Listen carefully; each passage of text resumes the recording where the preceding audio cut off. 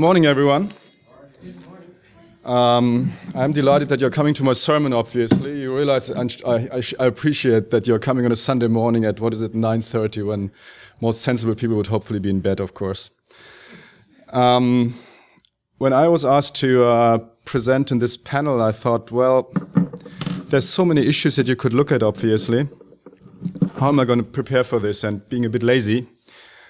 Um, what I did is actually I decided to pick a couple of chapters that we have in a in a book that's forthcoming. It's called this time 50 Great Myths About Atheism. Um, you've just heard that we produced this volume, this anthology, 50 Voices of Disbelief, which sold really well. And the publisher discovered that whenever you put a number on a book cover, people buy it. So so we were asked to produce another book called 50 Voice, not 50 Voices of Disbelief, um, 50 Great Myths About Atheism. What we looked at really was the question of what kinds of misconceptions do people typically have about, about atheists?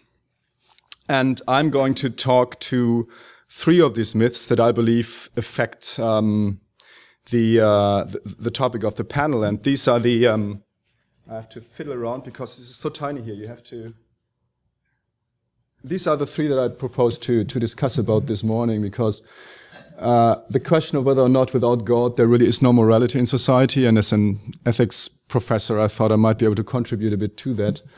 Um, the other question, or the other myth that you hear fairly frequently, is the claim that atheism robs life of meaning and purpose. And last but not least, actually, atheists deny the sanctity of human life. So uh, my profession really is bioethics. I'm a bioethics professor at Queen's. That's what I do for a living. And um, you come across this particular last one very frequently. It's very influential, and I want to look at that for that reason. Uh, there is another 47 in the book. I can't do that this morning, obviously. All right, I hope you can see this. Um, there will be cartoons in the book too, as you can see.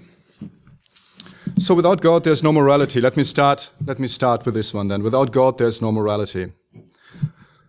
The, the basic claims that are propagated in this myth are that there can be no secular basis of morality on the one hand, and as a corollary of this, that there's a sound theistic basis of morality.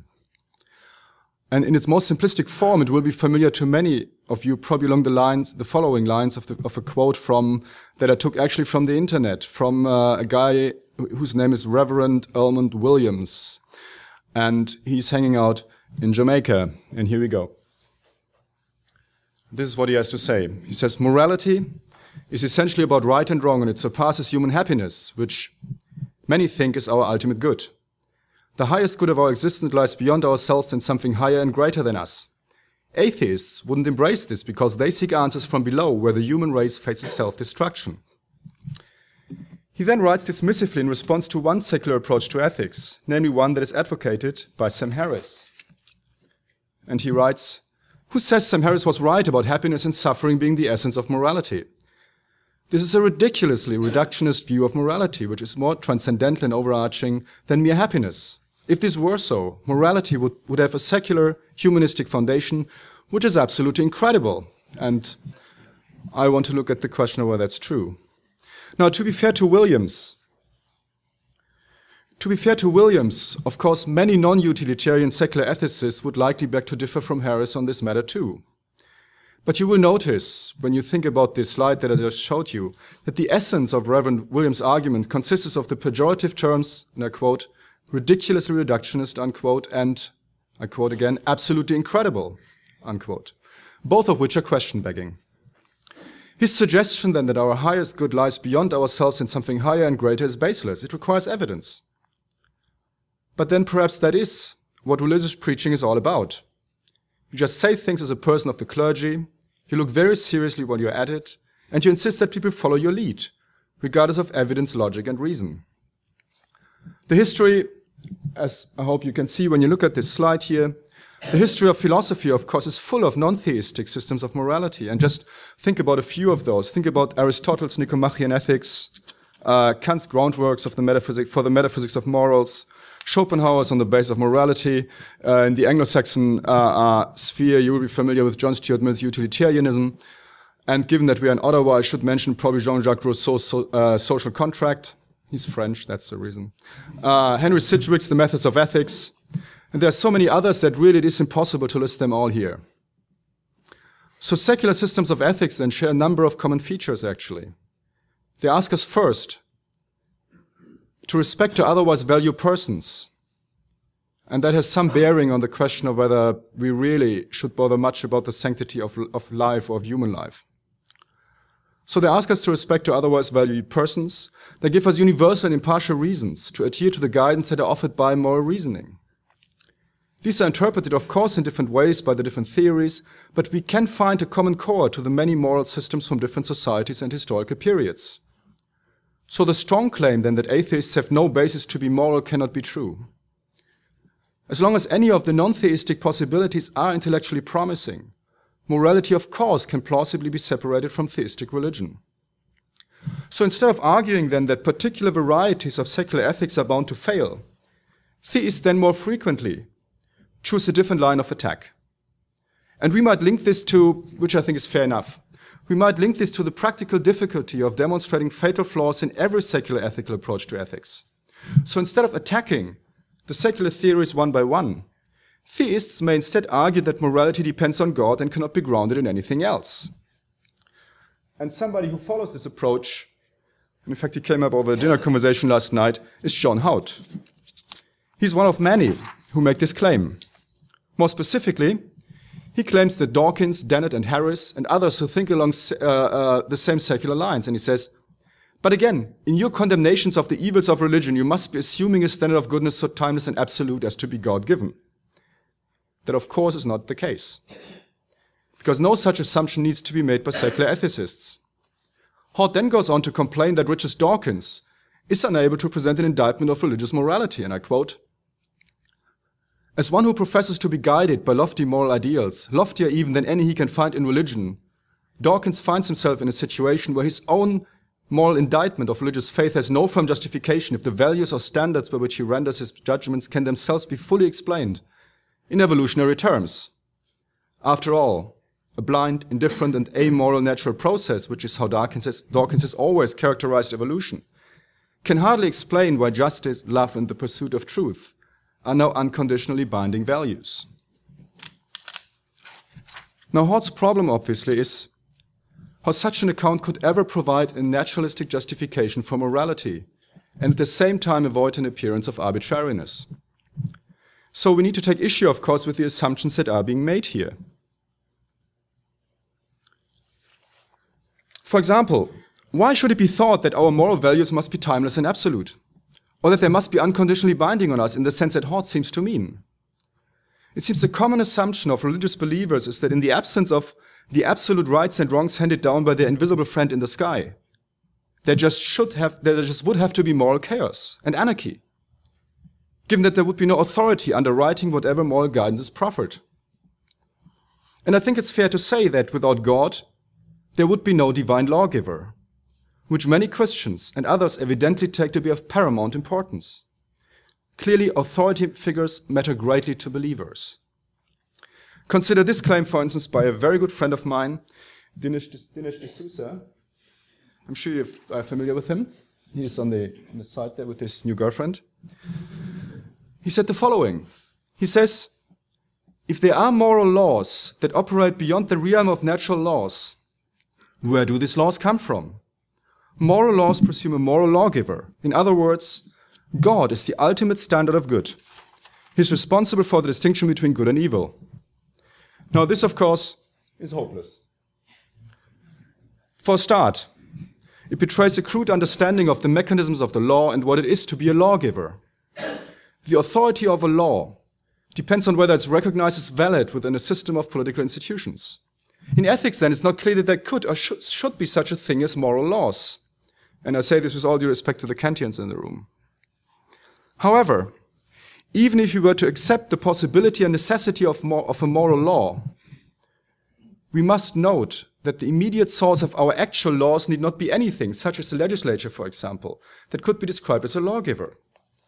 A particular law, for instance, could be part of a body of useful customs that have come to be recognized and enforced by the courts.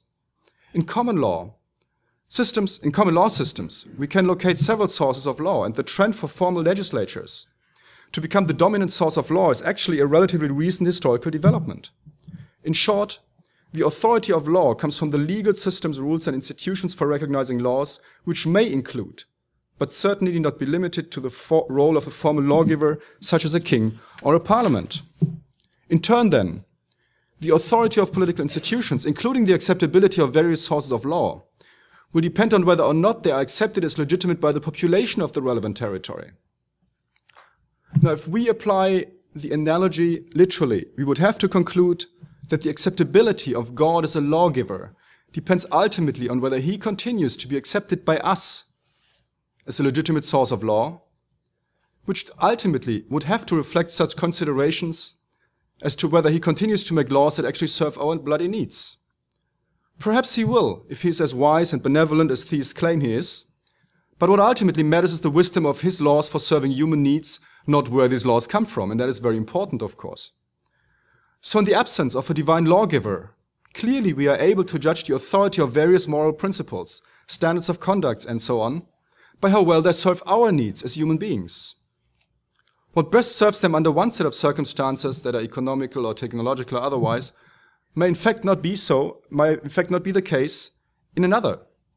More specifically, it doesn't follow from the lack of a supernatural lawgiver that there are no good reasons for us to treat each other well, for instance, oppose cruelty, or cultivate dispositions of character such as honesty and kindness. If this then is what morality is all about, as the reading, of course, of the work of non-theistic moral philosophers tends to suggest, then in fact there is no reason to posit a God in order to have morality at all. And Albert Einstein, funny enough, has made this point really well. And this is what he had to say. He said a man's ethical behavior should be based effectually on sympathy, education, and social ties and needs. No religious basis is necessary. Man would indeed be in a poor way if he had to be restrained by fear of punishment and hope of reward after death. So if we thought then that some things are good because God approves of them, we would then be inclined to ask what they have in common apart from the fact that God approves of them. And we tend to look for something that good things and something that bad things have in common, or at least for sets of properties that enable us to group them. Surely we shouldn't accept the idea that God would approve of some things and disapprove of others arbitrarily. Even God must have reasons. So the ultimate point of morality cannot therefore be obedience to the will of a God or a group of gods because this was, would raise the notorious problem discussed in uh, Plato's famous Euthyphro dialogue, which actually goes, is, uh, goes back to 400 years before Christ. Namely, the, namely, I mean, the point is this here. Does conduct become morally correct because it is in accordance with God's or the God's commands? Or should we obey those commands because they track the independent requirements of morality? Well, if it is the former, we would seem to be struck with the idea that murder and rape are wrong only because of the arbitrary commands of a powerful being. And this being could have, of course, made murder morally right simply by commanding it. If the latter is the case, then why not find out what actually are the independent requirements of morality? That is, the requirements that are independent of God's will. So far from it being the case that morality needs a cosmic or divine lawgiver, it makes no sense at all to see morality as grounded in anything other than what humans actually desire, value, or need. If a lawgiver gave us commands that we cause each other suffering, for instance, we would have every bloody reason to rebel against them. All this aside, of course, there's a practical problem with basing our moral ideas on an idea of God. God's supposed commands, you will remember there's various holy books that are out there, must still be interpreted, implemented, and understood. But as you will know, it is, or as we have heard, in fact, in some of the sessions already, it is often surprisingly difficult to ascertain what moral lessons God actually is trying to get across. So if morality is then understood as, as today it is understood by the vast majority of moral philosophers, namely as a system of reason-based normative guidance and normative justification, morality is of course very much possible. And on that understanding, the first myth that I looked at is false. Let me turn straight away to the, the second one that I promised I wanted to have a look at. And that was the question of whether atheism is robbing our lives of meaning and purpose. You have heard this often. I, I, those of you who have discussed this with uh, religious believers will have heard this frequently. Now, the thing is, of course, Now, the thing is, of course, that questions about meaning and purpose can be unclear, because these words themselves are rather vague in the context of someone's life or human life itself. In particular, life and individual lives are not signs such as linguistic expressions, so the word meaning ultimately cannot be applied to them literally. It must be used, at the very least, in some metaphorical or some analogical sense. Many religious thinkers hold that for our lives to be meaningful, we need to be immortal in some way, or else our lives would be just as meaningless as that of other animals. So according to this line of thought then, God soon comes into the equation as only God is capable of offering us immortality. What follows from this line of, of argument is that the existence of God is a logically necessary condition for living a meaningful life. If this line of reasoning is correct, it follows that atheists are incapable of living a meaningful life as we do reject the premise, more, as we most, most of us reject more than the God premise. Most of us, if we are honest, also reject the immortality premise. And I say in brackets, if I were able to be immortal, I would take the opportunity. I know many others wouldn't, but if I had the choice, I would certainly go for that. Now, of course, there are short and long answers to this challenge, and I have only another 15 minutes left, so I'll hurry up. The short answer could be, and it is not entirely flippantly, obviously, life is what we make of it. There is no deeper God given meaning to life, regardless of whether our lives are infinitely long or of very limited duration. It's entirely up to us to decide how we wish to live our lives to make life worth living to us. And precisely it is this self directedness that makes life meaningful. Given that most monotheistic religions are quite old, harking back to long overcome cultural mores, it is worth noting that their threat to such a meaningful life is very immediate and very powerful.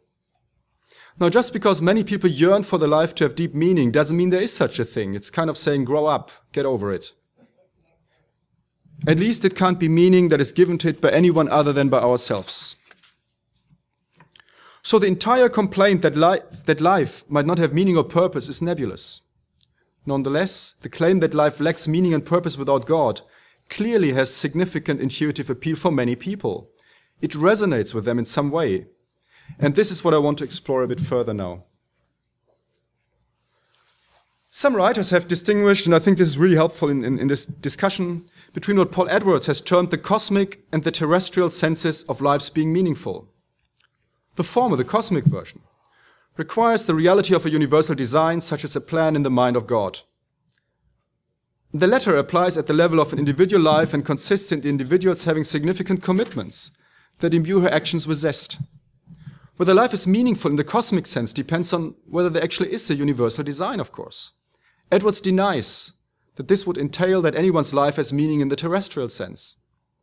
In that sense, he suggests the actuality of a universal design could give an individual's life meaning only if she knew and approved of it and her place in it. Conversely, he argues that it is possible for an individual's life to have meaning in the terrestrial sense, even if life, conceived as the sum of human activity and experience, is not meaningful in the cosmic sense. So clearly then, it is a terrestrial sense that really matters for our discussion here. The lack of a God and the divine plan in no way entails that our individual lives must lack commitments, values, or the kind of zest that can come from living in accord with these. That's a myth.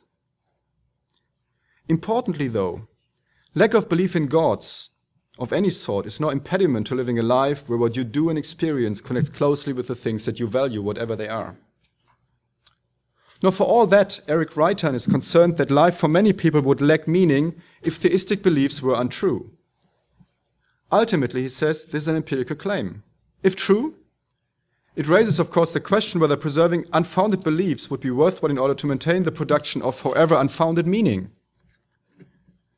And here I think the Enlightenment philosopher Immanuel Kant's dictum comes to mind. He had the following to say. He said in 1784, no less, Enlightenment is the human being's emergence from a self-incurred minority. Minority is the inability to make use of one's own understanding without direction from another. This minority is self-incurred when it causes lies, when its causes lies not in lack of understanding, but in lack of resolution and courage to use it without direction from another. Have courage to make use of your own understanding is thus the motto of enlightenment. Many atheists would suggest that approaching life along these lines provides it actually with meaning. Reitan, on the other hand, he cites an argument put forward by David Swenson that I want to look at now that starts along the following line. First, a common view of what makes life a life happy or meaningful is that it possesses an abundance of good things, not just material property, but friends, meaningful work, exposure to great art, bodily health, adventures that get the blood pumping, and the like. You might want to note that there's a conflation taking place here between happy and meaningful life. A life could be perfectly happy in the sense that things go really well for us, but there may then still be a separate question as to whether and in what sense this life can be considered meaningful by us, or if you wish, even by others. Swenson and Reitan then do not deny that friendship, art, health, and so on are genuine goods or claim that their value should be deprecated. But Reitan observes that the empirical world of pitiless indifference does not rich blessedly everyone with these things. And that's true, I think. On the contrary, he thinks that most lives would be uh, impoverished if their richness in these things was the measure. And the argument continues then possession of these things cannot be the measure of a meaningful life, because this would entail that most people do not actually live meaningful lives. Swenson says indeed that choosing such things as the end and aim of life does injury to the mass of people who are unable to attain them. And I think it's fair to say that this might be true for the majority of people. Still, this clearly is a confused line of reasoning. Because first, how are we doing injury to people if we notice that their lives lack many good things? Or how are we doing injury to them if we pursue these goods for ourselves? Perhaps that might be arguable in the case of the pursuit of material property, insofar as this is finite. But if we pursue things such as friendship and meaningful work, we do not deprive others of these things. These are not scarce goods that are gained at others' expense. Something similar can be said about meaningful work. A society might be organized in such a way that many jobs are repetitive, boring, and alienating, but that doesn't have to be like that. Equally, my health doesn't preclude yours. We're not involved in a competition for a finite amount of health. On the contrary, we may find mutual benefits if both of us are healthy and so make social contributions. In short, the sort of goods that Swenson and Reitan discuss here are not necessarily the rewards in a, in a zero-sum zero game. Potentially they are available to most people, though achieving this might require considerable political will. It is quite misleading then to talk of a pursuit of goods such as health, loving relationships, and meaningful work as if doing so harms other people. So perhaps the claim then about an injury to others is meant in a more metaphorical sense. Somehow we are misrepresenting the situation of others, not doing justice to the goodness of their lives, if the emphasis is on the importance of such goods as health, loving relationships, and meaningful work. Because we would be implicitly denigrating the people who lack these things. But of course, there is no denigration here. Surely we have every reason to feel compassion for people who find themselves friendless and unloved, trapped in an alienating work environment, or suffering from painful, perhaps life-threatening disease. These things may not be complete barriers to, me, to live a meaningful life, though someone suffering from all of them at the same time clearly would be in a very bad situation. So it's then merely being realistic to acknowledge that these are the kinds of things that can take the zest from one's life. Someone in such a situation has already been injured, and it's not you who injures her if you comment on her situation. So the talk of injury here, then, is a rhetorical trick that merits exposure and condemnation. The existence of people who are doing badly in this life is not a reason for us to abandon our intellectual honesty. Arguably, a more sensible way and honest way to show solidarity with them is to acknowledge that they really have things bad and then try to do something about it. So that old Christian favorite of the redemptive value of human suffering should not be profit here, and nor the Christian standard bearer for doing nothing, namely sending prayers for help to a non-existent God. That point being made, though, why should we assume that everyone actually is living a meaningful life? If anything, it appears on the face of it at least, that the opposite is true. That at least some people are not living lives that are, in any sense, meaningful. Now that doesn't mean, by the way, that their lives could not be happy. Think about Kim Kardashian, for instance. Vice versa, a meaningful life could very well be deeply unhappy. Wohlgenannt has argued that religious believers can live with no fundamental doubts about the meaning of life, because they believe that God knows the meaning and purpose of every event. You've heard this before. A person who believes this meaning to be in the keeping of God, even if he cannot know it himself, has not lost it. But how coherent is this really? It might explain why some religious people feel comfort from religion even if they are otherwise disappointed or afflicted or confused, and why they might not be able to understand how atheists can find life meaningful. We do not believe that each event has a possible meaning, uh, hidden meaning, and that this purpose is known to God. So we can, so we can understand how religious explanations of the universe and the human experience can be reassuring for many people, even if they're not actually true. Loss of faith might indeed mean loss of what gave the believer an assurance that her actions had purpose, that her values were justified, and that she understood something of the universe, including some deeply puzzling aspects of the human experience. Sorry? I know. However, atheists like us do not perceive the world as meaningless or frightening place. Atheism doesn't prevent us, in fact, from leading a life that we find deeply absorbing and valuable worthwhile from our own point of view. The atheist challenge and opportunity lies really here in a preference for self-directedness as opposed to the other directedness that's on offer from mainstream monotheistic religions. If we actually want purpose in life, we want something that speaks to our own goals, projects, values, and so on. We think it's best if the effort itself is worthwhile for us, and if the goal, should we achieve it, creates something that is of lasting value as we understand it. So let me finish off with the claim that atheists deny the sanctity of human life.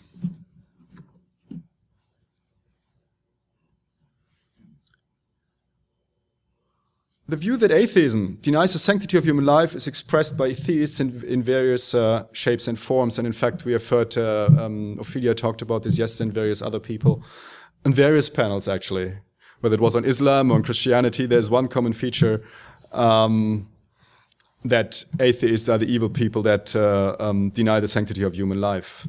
And to give you just one quote of many that I could have picked for this purpose, um, in his book called The Atheist Delusion, Phil Fernandes argues that, and I quote, atheism by denying belief in God's existence is a worldview that has no basis for the sanctity of human life, unquote. Now, it's certainly true that there is no uncontroversial secular basis for such concepts as equal human dignity from the moment of conception, and that a society that rejects Christianity will very likely end up rejecting concepts such as these. So it's possible in a sense that at some point in the future some secular ethicist will come up with a persuasive account for why human life ought to be considered inviolable, possibly even from the moment of conception. But do note that at this point in time, such an account doesn't exist. So atheists who reflect on the matter tend to reject the sanctity of human life doctrine, in fact. So this myth, quite actually, can plausibly be confirmed. Well, we shouldn't be so quick. Because one problem with this myth, of course, is that it assumes human life possesses sanctity in the first place.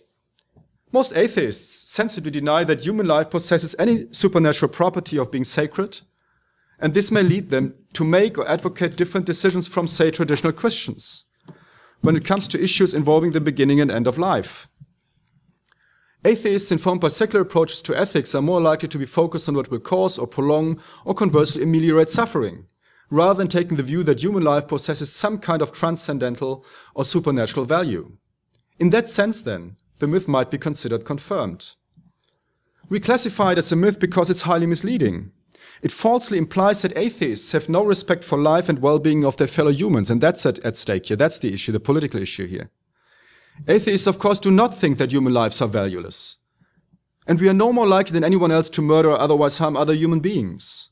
Although we understand that our fellow human beings as biological creatures, closely related as we are to chimpanzees and bonobos, we do not see other humans as insignificant or expendable. Theists and atheists alike we are all physical and biological entities on one planet among many, but we are special in at least one way. We are extraordinarily complex human, being, uh, human beings. Our brains and nervous systems contain billions of neurons with a seemingly um, unmappable intric intricacy of interconnections. They are the most complex entities that we know on this planet. They are also intimately connected with the other parts of our bodies and all parts of our functioning. Nothing else that humans have encountered to date at least, matches our extreme organizational and functional complexity, not even the most closely related apes. Furthermore, as some of you will have noticed, we are social and moral beings. Our current knowledge of human evolution suggests that our immediate precursors were already social animals. Peter Singer, an outspoken atheist ethicist, argues that our evolutionary ancestors must have restrained their behavior toward each other to the extent required for our societies to function. They showed the beginnings of morality, which involves showing concern and respect for the interests of our fellows. It is not only our fellow humans who deserve respect or at least concern. We share with our simian relatives, for instance, and with many other animals, a vulnerability to physical suffering. And this gives us all a certain moral status. Others have suggested that some animals must not be used as mere means to our ends due to their capacity to be subjects of their own lives, just as we are, albeit to a different extent. Even if it's justifiable to kill non-human animals, it is not so justifiable to treat them cruelly. Of course, it's frequently claimed that human beings have a special moral worth beyond that of all other animals. But what makes us so special? I need two minutes. According to most atheists, it cannot be anything supernatural. If we are to make comparisons between human beings and other animals, we need to look at the actual and entire natural dispositional capacities of the things that are being compared. So while many other animals possess a capacity for conscious experience, fewer of them, perhaps just a small number of mammalian species, are conscious of themselves as individuals in anything like the way human beings are. None possess our deep, sometimes troubled, sometimes joyous inner lives or inner, inner lives. In addition, most of us possess dispositional capacities for reason and reflection, life planning, caring, emotions, language, and the many practices of cooperation, technology, tradition, and art that comprise our cultures. All to an extent that makes the equivalent capacities of other animals, even chimpanzees and, and bonobos, seem rudimentary. That being said, and without wanting to dwell too much here on the ethical animal rights debate, animal rights activists rightly caution that many of us do not possess these dispositional capacities either at certain points during our lives or indeed throughout our lives. So they argue respect for equal interest demands that we treat such higher mammals no different to how we treat humans with similar dispositional capacities.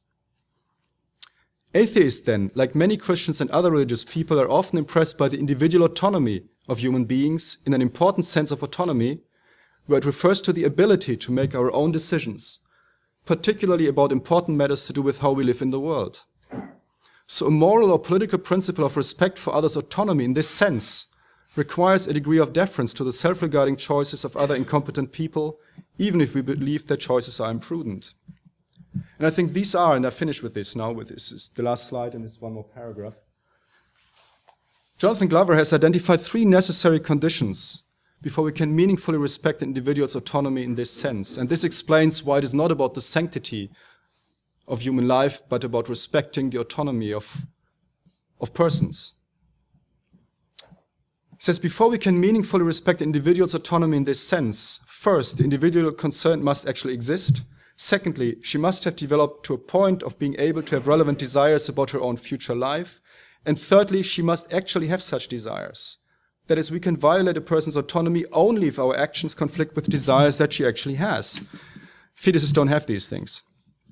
So respect for autonomy cannot provide support for obligations towards embryos, babies, and in fact even young children. When, when considering possible obligations to them, most atheists need to look elsewhere, including general utilitarian considerations. And I was right, two minutes over time. So thanks very much. I end here.